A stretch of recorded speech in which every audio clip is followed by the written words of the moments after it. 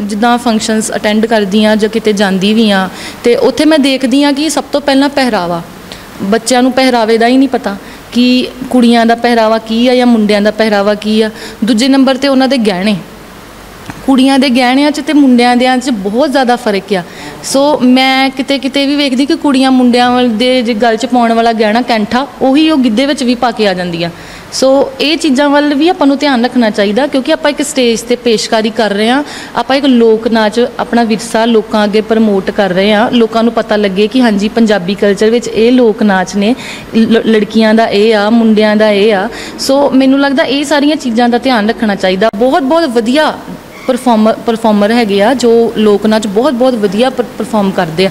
But ਕਿਤੇ ਨਾ ਕਿਤੇ ਉਹਨਾਂ ਦੀ ਪਰਫਾਰਮੈਂਸ ਦੇ ਨੰਬਰ ਕੱਟਣੇ ਪੈ ਜਾਂਦੇ ਆ ਇਹਨਾਂ ਗੱਲਾਂ ਕਰਕੇ, ਕਿਉਂਕਿ ਉਹਨਾਂ ਨੂੰ ਇਹੀ ਨਹੀਂ ਪਤਾ ਕਿ ਲੜਕੀਆਂ ਤੇ ਲੜਕਿਆਂ ਦੇ ਡਾਂਸ ਫਾਰਮ ਉਹਨਾਂ ਦੇ ਪਹਿਰਾਵੇ ਜਾਂ ਗਹਿਣਿਆਂ 'ਚ ਕੀ ਫ਼ਰਕ ਆ।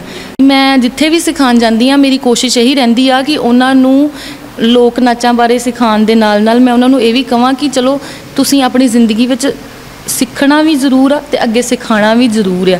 ਸੋ ਆਪਣੀ ਕਲਾ ਨੂੰ ਇੱਕ ਸਿਰਫ ਇੱਕ ਯੂਥ ਫੈਸਟੀਵਲ ਦੀ ਸਟੇਜ ਤੱਕ ਹੀ ਸੀਮਤ ਨਹੀਂ ਰੱਖਣਾ।